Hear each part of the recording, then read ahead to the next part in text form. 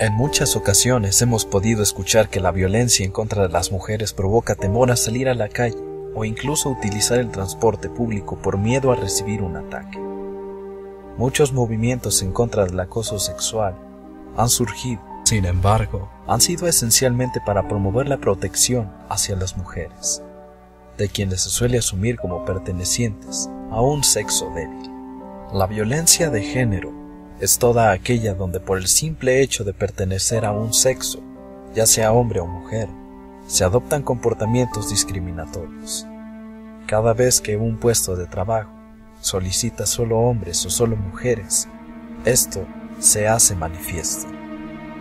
Y es un tema bastante complicado, aunque no porque sea difícil pensar en un modo de realizar acuerdos que beneficien a todas las personas, sino porque hay gente reclamando igualdad cuando no deja de pensar en sí mismo, y esto genera un rechazo mutuo de posturas que no lleva a ningún lugar.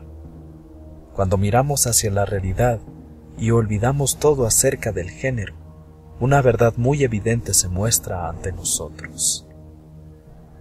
Un ataque sexual en Sudáfrica. Buenas noches. Con anterioridad hemos tratado temas referentes a la violencia. Si has puesto la suficiente atención, seguro habrás notado que muchas de las víctimas son mujeres. Elizabeth Fritz, Junko Furuta, Sylvia Likens, también los niños como por ejemplo Kelvin o aquellos que sufrieron abuso sexual en sus escuelas. En esencia, se podría llegar a creer que es una cuestión de género donde un sistema denominado patriarcado oprime a los demás. Pero yo pienso diferente. Existen casos como los de Vera Renzi, Enriqueta Martí o Eric Smith que nos demuestran que cuando alguien comete un crimen contra otra persona o algún otro ser vivo, no es necesario ser un hombre. Y no son excepciones a una regla, sino la manifestación que existe de algo más dentro de la mente humana que provoca este comportamiento.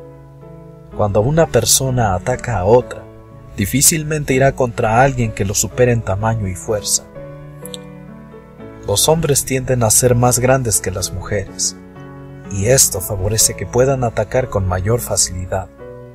Pero no todos los hombres son altos, ni todas las mujeres son de baja estatura.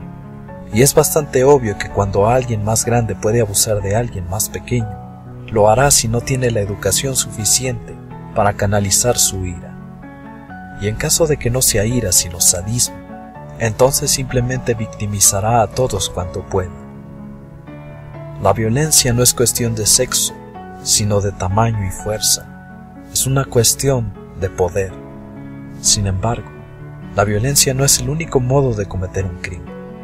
La mente humana es asombrosa por su ingenio, mas este ha dado frutos terribles como lo son armas, si bien un hombre grande podría vencer a otro más pequeño en una lucha cuerpo a cuerpo, si el segundo tuviese una pistola entre sus manos, fácilmente podría acabar con su adversario sin siquiera sudar.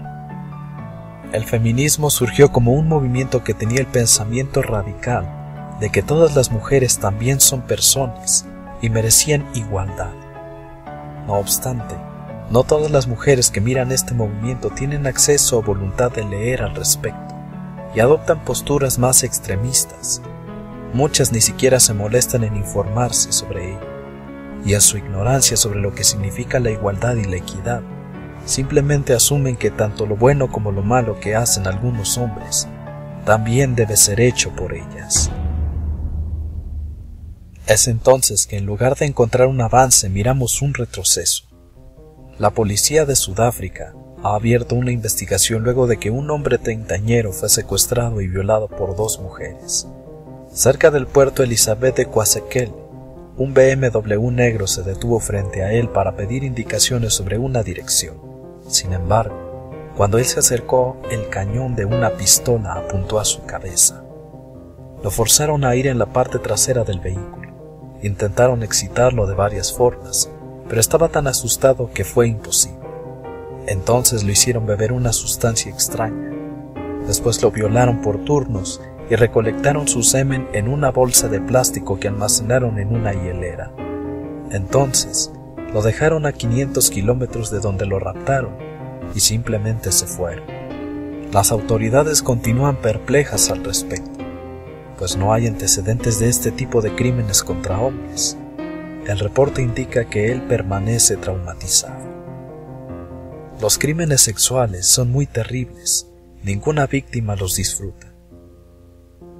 Por más que lleguemos a pensar que es una cuestión de ser hombre o de ser mujer, siempre tenemos que tener en cuenta que una mujer más grande que nosotros, así como un hombre a una mujer pequeña, puede victimizarla en formas que nunca imaginaríamos posibles. Comparte este video con más personas. Suscríbete a Walter's Horror si deseas seguir al tanto de los demás horrores que tengo reservados para ti. Da un me gusta en Facebook y sigue a Careo Lux en Twitter. No olvides que el horror de Walter apenas comienza.